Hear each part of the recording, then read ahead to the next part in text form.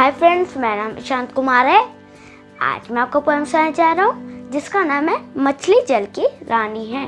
मछली जल की रानी है, जीवन उसका पानी है। मछली जल की रानी है, जीवन उसका पानी है।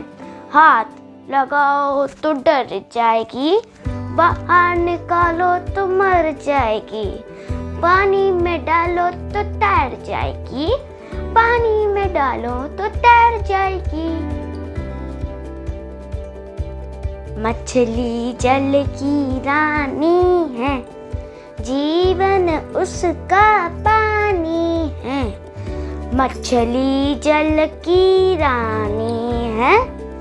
जीवन उसका पानी हाथ लगाओ तो डर जाएगी।